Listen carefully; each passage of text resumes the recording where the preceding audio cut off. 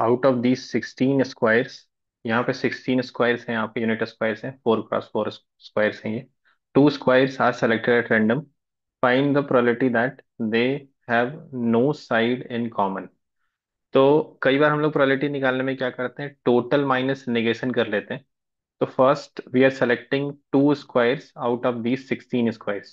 So number of element in sample space is you select any two. So 16C2 which is 16 into 15 by 2, 120. Now we'll go for negation. Negation are those cases when we have two side, two squares such that they have side in common. Side in common. So for that to happen, we need two consecutive square which is either in the same row or in the same column.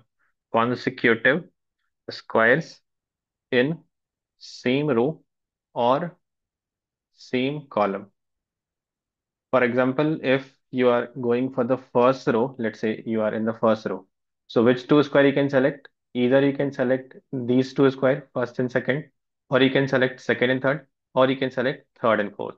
So there are three choices for selecting two consecutive square. First, second, second, third, or third, fourth.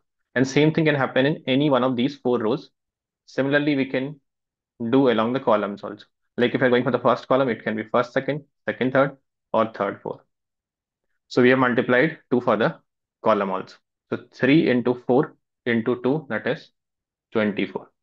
So probability will be 1 minus negation case by total case, which will be 1 minus 1 by 5 and hence 4 by 5. Answer is given as option A, which is 4 by 5.